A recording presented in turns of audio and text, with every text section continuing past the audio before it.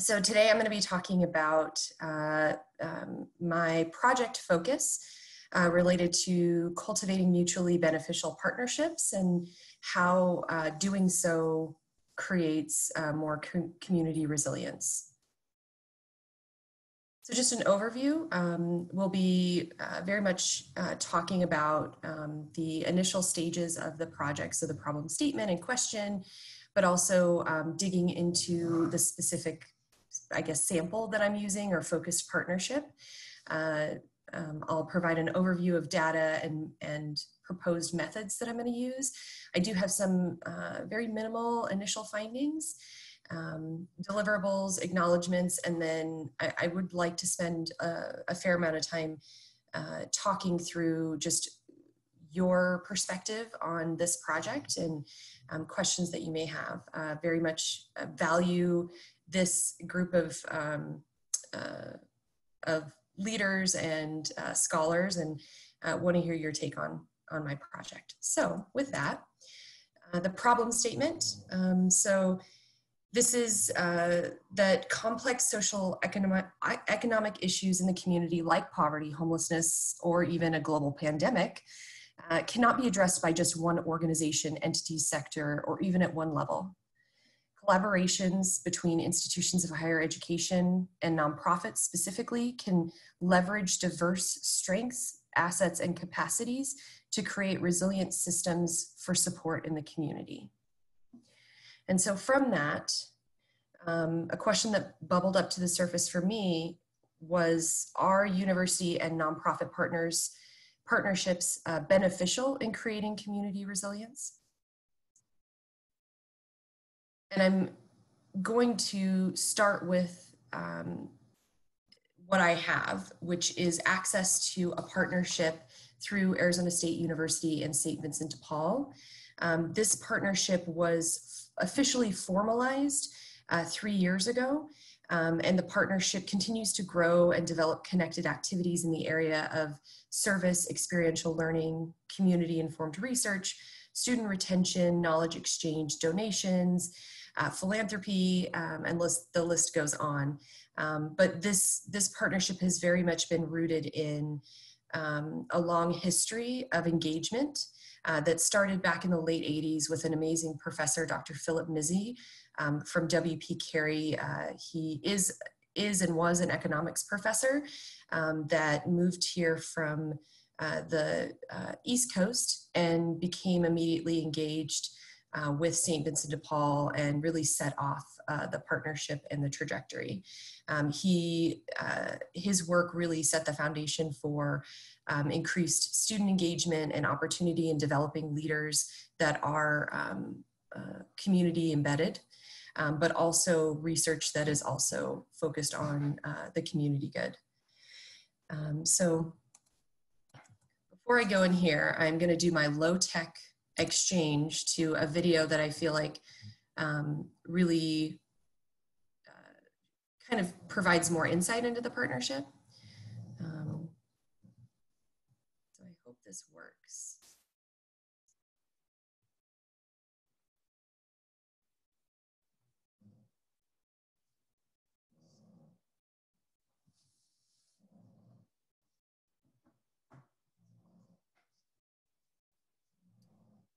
I think we're not getting the sound, Erica. Oh. Patricia, you said you can't see it?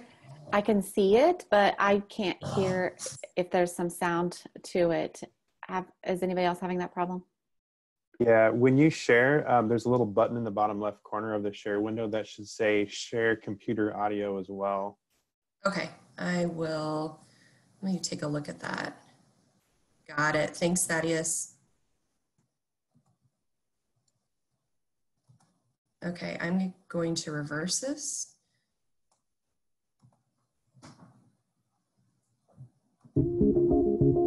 Got it. Just real quick check. Okay. That was it. Thank you. Uh, we look for partners to be scalable, uh, that is, they're able to uh, take on the scale of a problem. In St. Vincent de Paul, we see all of those things as a part of the way that that institution has evolved and it's matched with our value system, our idea about scale, our idea about uh, community engagement, community service. St. Vincent de Paul works to feed, clothe, house, and heal people in need in our community. We foster community resilience by bringing together those who can give and those who have a need in the most personal, face to face way as possible. The partnership with ASU allows us to take the strengths of the university in research, expertise, and innovation and integrate them into our work in ways that directly impact our programs and the people we serve. We travel the world looking for sustainability solutions and hotspots, and we just realized what an impact people getting on board in a local way can have. There really aren't any solutions without individuals each choosing to make an impact. And so every person involved in this process has been part of the garden and part of the urban farm. The partnership requires the contributions of what we call time, talent, and treasure, all three. People's time, their talent, their energy, their ideas. We see this more as a, a larger family towards the shared mission and shared vision that involves some of the opportunities that address not only the research needs, the community needs, but us as individuals, um, our relationship. And really, those types of partnerships I look for now is how can we work with good people doing great things to make an impact. We are helping to build the next generation of leaders and community champions, students who will come to understand the complexities of the challenges we face in our community and will be inspired by the volunteers and staff who have dedicated their lives to caring for people in need. By working together, we're able to learn and grow in ways that we couldn't do alone. The St. Vincent de Paul ASU partnership can help to power transformational social change by engaging all of us as co-collaborators in building the community that we all want to be part of. That's the hallmark of a powerful partnership. We look forward to working with ASU to make that community a reality for all of us. We are the society of we're all in this together.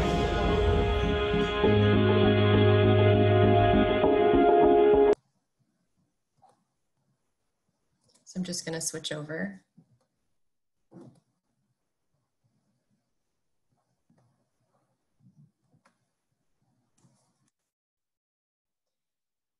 So you may have heard um, through through that video and and uh, representation of the partnership a lot of um, sort of anecdotal ways in which the partnership works and important components um, that are visible here. Um, and these are things that I expect to find um, in doing this research and looking at the data that is representative of this particular partnership. So the data itself um, is a, a compiled data data set. It's a partnership inventory. Um, it includes volunteer data both from Arizona State University, i.e. the Changemaker Central, um, and St. Vincent de Paul, but also represents data um, such as donations, drives, monetary giving, both from St. Vincent de Paul, but also data that's been collected um, from the social embeddedness survey. Um, historical accounts of the partnership uh, through different uh, publications on both sides of the partnership, um, community informed research, primarily from Nursing and Health Innovation, and then WP Carey School of Business, and then qualitative data um, that was initially taken uh, in the form of stakeholder interviews back in 2017. Um, I'm planning on uh, augmenting this data as well. And right now I have data from 2014 um, or consistent data from 2014 up through uh, 2020. So this is um, the initial and very rough draft of a social network analysis that I did initially in starting with this partnership. Um, this really just captures kind of um, where the partnership was initially. Um, so it represents 11 colleges, five research projects, 18 days of service, 22 internship programs, and a, about a thousand students um, engaged.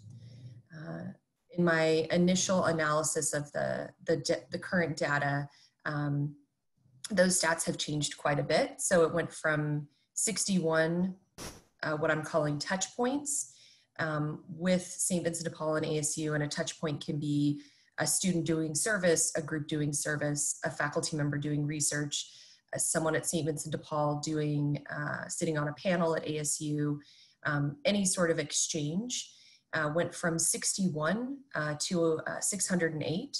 Uh, so right now my data set um, is just over 600 and represents um, kind of that, that breadth um, of the partnership. So there's a lot of um, internships and service learning opportunities with students as you would expect to see. Um, self-directed service, so this is a service that faculty, staff, um, and students do without uh, identifying themselves as as such, as a member of ASU in some form or fashion, and then group service. Um, also, what I'm finding is, and the, these definitely fluctuate. Uh, I'm hoping to get a better understanding of whether or not there are trends in this fluctuation, but the Watts College um, has the, the highest amount of um, uh, touch points influence uh, partnership with St. Vincent de Paul, followed closely by um, EOS at ASU, which is the uh, Education Outreach Student Services Department. So for those of you that may not be as familiar with that unit, uh, it's the unit that um, uh, is run by the Dean of Students office and encompasses career services, um, counseling, tutoring, etc. And then right now, College of Liberal Arts. So my um, method and process, uh, much like um, what Josh mentioned, um, I'm really focusing on um, using grounded theory research as an approach uh, to data exploration. Um, I want to find out what those trends are within the res- or within the data, but also what may where there may be gaps. Um, I'm hoping to identify once doing that deeper analysis um, variables um, that could possibly help me figure out relationships between uh, different aspects of partnership and maybe even the quality of connections. Uh, I will also, uh, once I have that, um, go through that um, analysis, I'm planning on uh, conducting focus groups with stakeholders to share statistics and findings and also um, uh, receive feedback um, from them so deliverables, um, this this is an area that I'm kind of struggling with right now. Uh, I think there are, there could be many deliverables. I, I, think one of the most important ones is that I'm hoping that by going through this this exploration of the data and partnership, there will be um, more insight into how to measure these types of partnerships. So whether that is um, through finding like a specific set of characteristics um, that help could could help others measure a partnership like this um, or could help others create partnerships like this. Um, and i am planning on uh, sharing my findings again with those with the stakeholders but also um, uh, attempting an academic article uh, which i have not done before um, but also um, uh, sharing findings over a blog uh, with the ASU Lodestar Center for Philanthropy and Nonprofit Innovation. And the so what?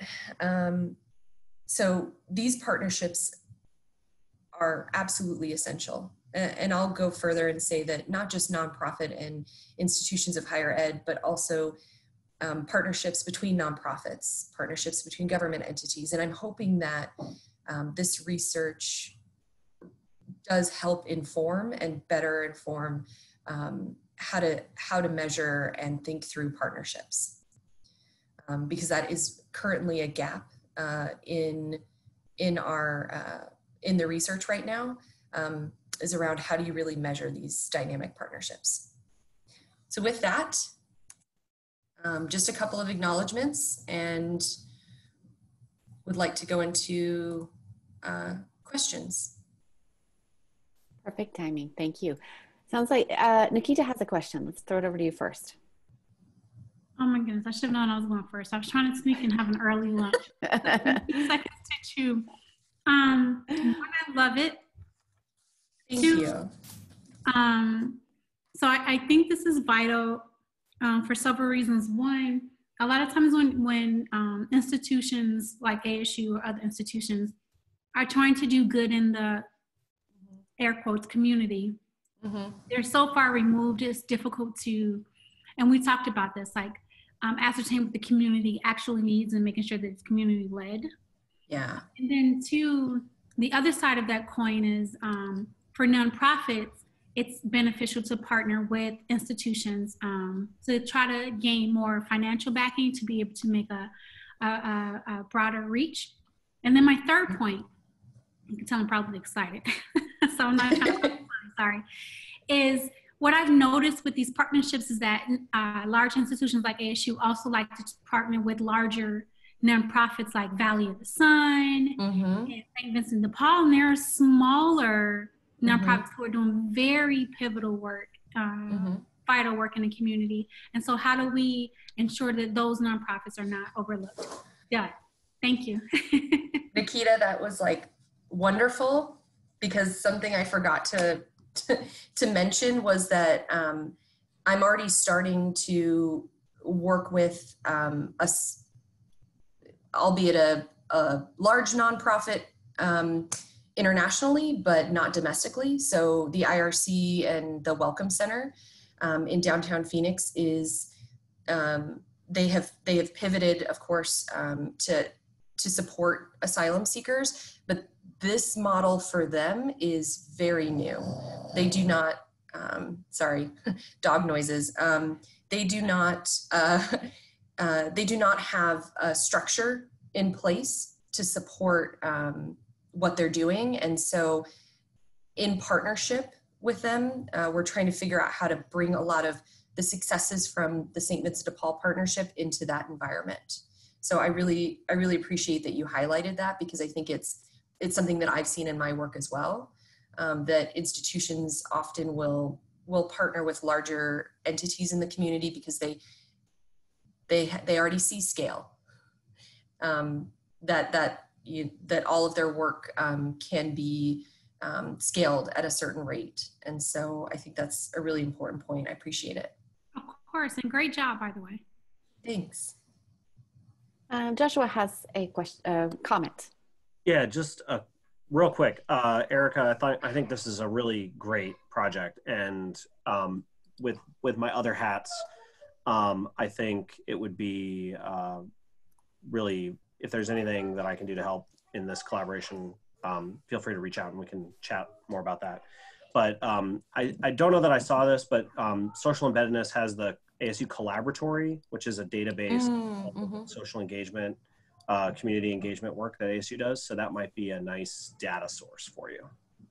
That's a great point. Thank you. I, Yep. I know of, but didn't I didn't quite know that they had a um, a data set. So I'll reach out to those folks. Well, and to add on to that, Erica, we at the Knowledge Exchange for Resilience, we helped them transfer the old system to the new collaboratory system. So we also have that data set. And Christina Ingio, su- who is the um, the new person dealing with that, um, Mhm. she's one of our cross-cutting scholars as well. So we can really make a good point for having you um, um, look at that stuff. And and Mason, who I know you've talked to and everyone has met, he is doing some social network analysis on that data set. So Oh, um, I think we just to put that on your radar. I think that there's some interesting things. Now your work, your data is somewhat different, but Mhm. um, I think also, yeah, very, very relevant.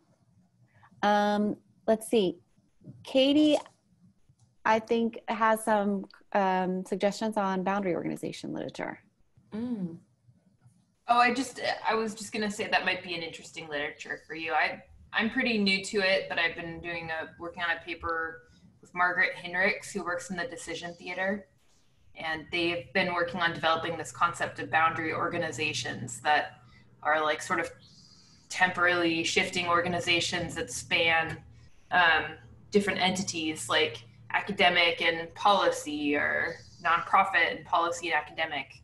Um, that might be useful Yeah, it. I mean, it definitely sounds like it. You said it's. Um, is it a publication?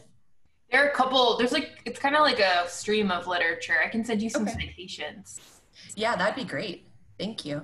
Yeah, no problem. I'll do that right now. Thank you.